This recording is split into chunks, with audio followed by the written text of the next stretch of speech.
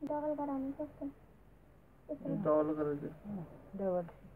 कसं येते बंद ते टाईट पण नका करायचं अडीच हज़ार येते